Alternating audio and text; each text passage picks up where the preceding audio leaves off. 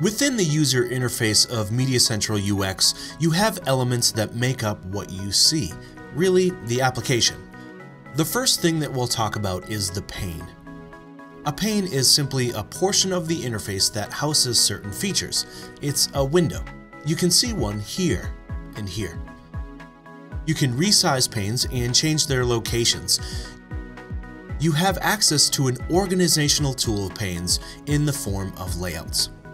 To put it really simply, layouts in MediaCentral are preset pane formations you can access from the drop-down menu here up on the right. As you can see, layouts are designed to accommodate certain jobs. Layouts for rundown or story, they're most likely to be useful to a journalist. Let's double click on a layout to open it. I'll open up the cut layout. The layout for MediaCentral will change to accommodate the cut layout.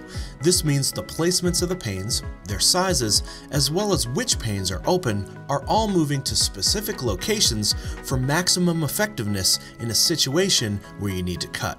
All the most useful panes for editing, like the sequence, media, and audio panes, immediately become the main focus of the interface. These layouts are all installed as part of the MediaCentral UX web application. The size and location of the panes are set by default in each layout, but you can customize which panes you want to see. To do that, click on the panes in the upper left-hand corner of the interface. You'll see a drop-down menu where you can select different panes to bring up. You can resize their windows in the interface by clicking and dragging on the edges. For more information on panes, check out the MediaCentral user guide available on the knowledge base. For more how-to videos, go to avid.com forward slash how-to.